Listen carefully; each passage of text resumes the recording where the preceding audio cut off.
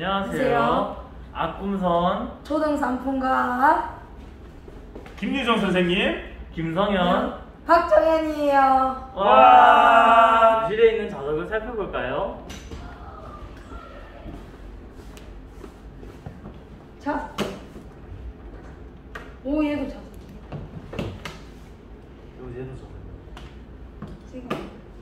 생각보다 많은 자석이 교실에 있습니다. 이번 시간에는 일상생활에서 사용하는 자석의 자석을 예로 들고 조사해 조사하고 자석의 쓰임새를 자석의 성질과 연관지어 설명해 봅시다.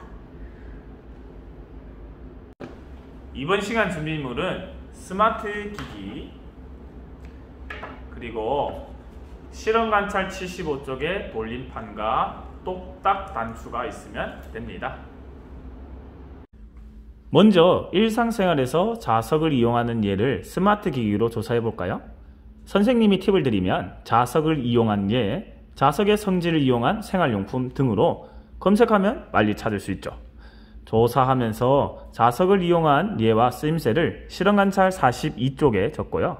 실험관찰 73쪽에 붙임 딱지를 이용해 자석의 성질로 붙여봅시다. 어, 자, 네이버에다가 선생님은 자석을 이용한 예를 한번 쳐볼게요. 어, 띄어쓰기 안 됐네. 이용한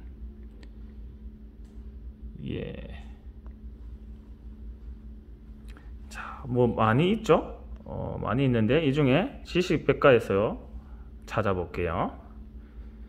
어, 여기 있네요. 한번 볼까요? 자석을 이용한 예를 검색하니까 이 예시들이 있는데 학교에서 사용하는 이제 필통이 있네요. 여기에 필통이 있고요.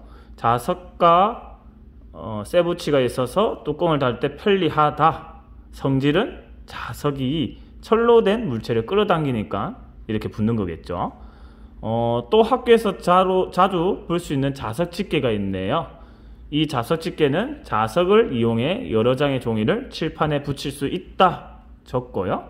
서- 성질은 자석이 철로 된 물체를 끌어당기는 거다 라고 붙이면 되겠어요. 두 번째 장소로 집에서는 드라이버가 있죠. 드라이버 끝부분에는 자석이 있어 나사를 고정하기 좋다. 성질은 자석이 철로 된 물체를 끌어당기는 거죠. 또 냉장고 문은 문의 모서리에 자석이 있어 냉장고 문을 닫을 때 편리하다.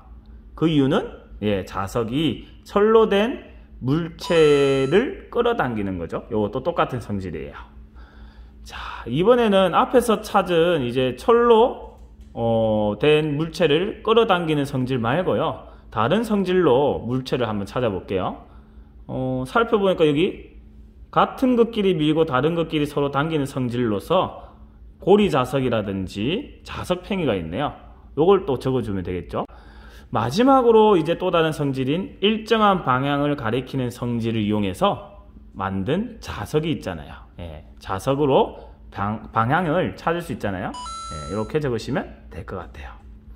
그 외에도 일상생활에서 이렇게 다, 자석을 이용한 예가 많은데요. 이 정리한 표를 참고해서 여러분들 스스로 조사해 보시면 될 것 같아요. 이번에는 실험관찰 75쪽의 돌림판을 가지고 조사한 결과를 친구들과 말해볼까요? 우리 저리 구멍. 구멍 구멍. 똑딱이 똑딱이 저저 저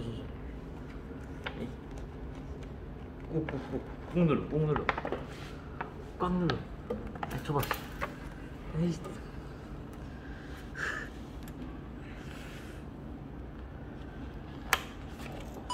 안 내진다. 얇고.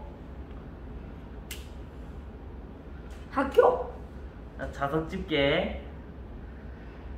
철로 된 물체를 끌어당기는 성질. 나 간다. 응. 집 냉장고 문 철로 된 물체를 끌어당기는 성질이 있다. 오늘 선생님과 특별 게스트와 함께 일상생활 속 자석을 이용한 예를 조사해 봤어요. 자석을 이용한 물체들이 많다는 것도 알게 되었고요.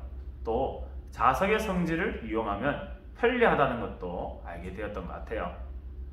다음 시간에는요, 이번 시간에 배운 내용을 바탕으로 자석을 이용한 장난감 만들기를 해봐요. 그럼 다음 시간에 또 만나요.